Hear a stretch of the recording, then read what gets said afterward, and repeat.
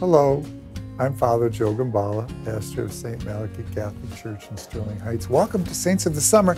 Today is July 23rd. Well, today's saint takes us back to Sweden, St. Bridget of Sweden.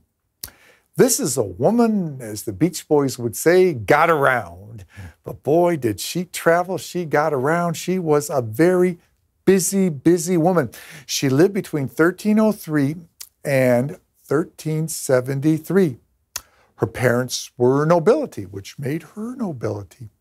And at the age of 14, she was married to Olof Gudmarsson.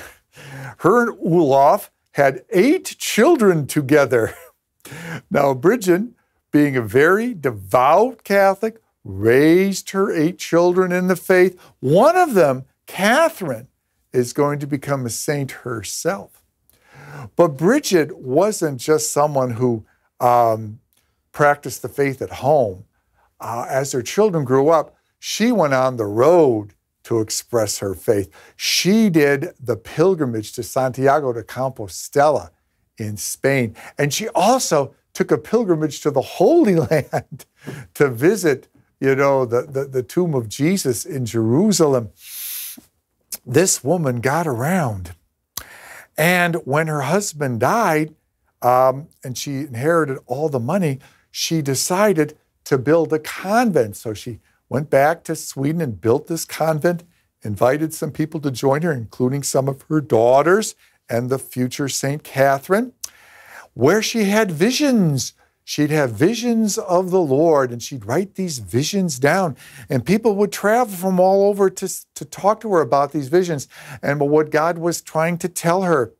And in one of these visions, she was told that the king of Sweden's plan to invade Estonia, which at that time was still pagan, was not going to be blessed, and the king shouldn't do it because the king's motivation wasn't primarily to convert these people to the faith, but was primarily just to conquer more land and get more wealth.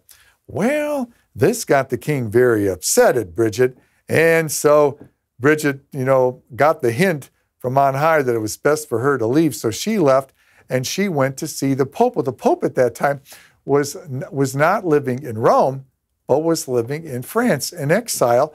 And so she got involved in papal politics and told Pope Urban that he's got to leave Avignon in France and go back to Rome.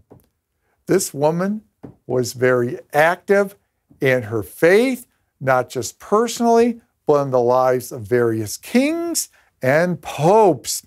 Also, at the Council of Trent, her visions were determined as valid.